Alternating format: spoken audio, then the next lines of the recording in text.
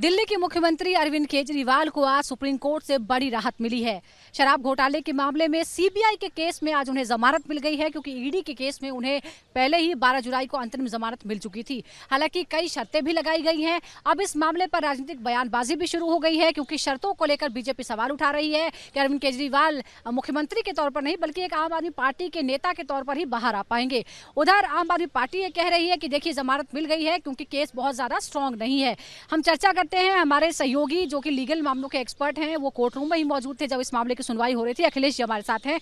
अखिलेश जी, हम आपसे कंडीशंस की बात करेंगे क्योंकि उसको लेकर बहुत सारे सवाल उठाए जा रहे हैं। लेकिन पहले ये बताइए कि इस मामले में जमानत में पाँच महीने का समय लगा क्योंकि सीबीआई की एंट्री थोड़ी लेट हुई। जिस तरह से सीबीआई की एंट्री इस पूरे मामले में होती है बीस जून की रात को, उसको लेकर भी कई सवाल उठे। हालाँकि आज दोनों जजों की जो राय थी, वो भी सीबीआई की एंट्री को लेकर बटी हुई थी। बिल्कुल, जस्टिस उज्जवल भुइया ने कहा है कि जो गिरफ्तारी सीबीआई की थी उसको उसको कहीं जस्टिफाई नहीं किया जा सकता।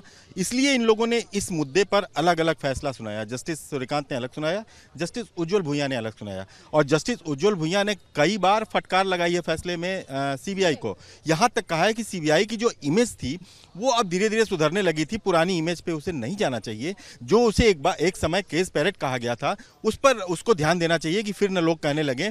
और उन्होंने सवाल उठा उठाया कि जब निचली अदालत से ईडी मामले में रेगुलर बेल मिल गई उसके बाद अचानक गिरफ़्तार किया जाना केजरीवाल को पुराने साक्ष्यों के आधार पर गिरफ़्तार किया जाना ये आ, हमें समझ में नहीं आया और ईडी का ये जो एक्शन था वो कहीं भी जस्टिफाई नहीं था और ईडी इस पर कोई अच्छा जवाब नहीं दे पाई कोई सॉलिड जवाब नहीं दे पाई और वो गोल मटोल जवाब देती रही।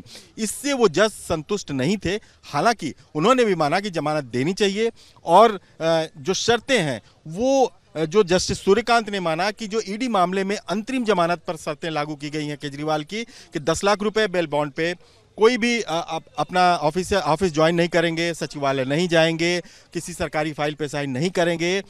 ये बशर्ते कोई ऐसी फ़ाइल हो जिस पे बहुत ज़रूरी हो साइन करना हो और उस पर एलजी ने इनको डायरेक्शन दिया हो कि आप इस फ़ाइल पे साइन कीजिए, उसी फ़ाइल पे साइन कर सकते हैं। तो ये सरकारी काम से इनको अलग रखा जाएगा, किसी गवाह से नहीं मिलेंगे, गवाह को प्रभावित नहीं करेंगे, कोर्ट में जो निचली अदालत में मामला चल रहा है उसमें कोऑपरेट करेंगे। ये सारी शर्तें उनके, इनके ऊपर लगाई गई हैं, ये शर्तें ईडी में भी लगी थी।